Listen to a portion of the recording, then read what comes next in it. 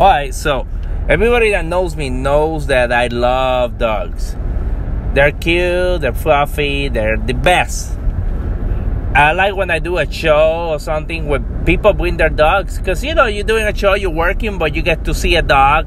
It's the cutest thing ever. But when you see a dog that is matted and smells horrible, it kind of ruins it for all the other dogs.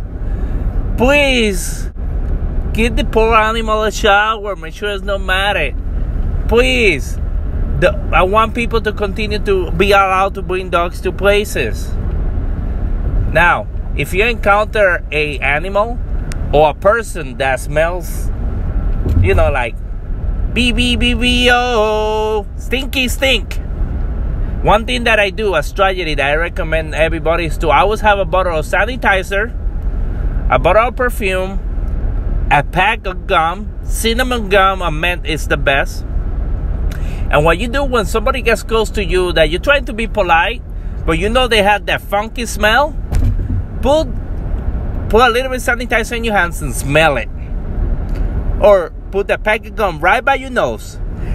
And voila, that funky smell will be gone. Now if it lingers, just spray some of the sanitizer all over the place. So it's a little tip, say your nostrils, and please give showers to your dogs and to your kids.